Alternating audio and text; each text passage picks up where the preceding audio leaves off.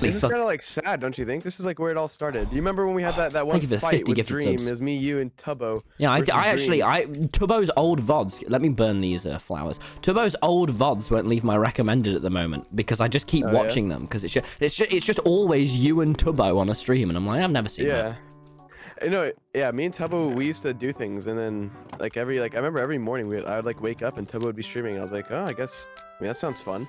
So I'd go on there, and we'd build stuff. But And that, uh, then what happened? now, now, now things have changed, Tommy. Things have changed. Why? Why did you fall out with Tubbo? I don't know. We didn't fall out. He just has. It sounds like you fell out you with know, Tubbo. he's got he's got his own his own friends, and you know I've got mine. I don't know. I reckon I. It's the spoke the, best. most to Sapnap like ever in And- and my he's so first lovely, week on the. SMP because he used to be on all the time. It was just And me and so him cool. building. And shit. then, and then before you know, you've got a new pal. You know, and it's yeah, awesome. So that, that's Sapnap should hang out uh, with us. Yeah, Sapnap yeah, no, should I, chill more. I I miss love- Sapnap.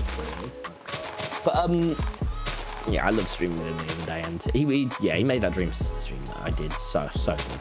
He's awesome.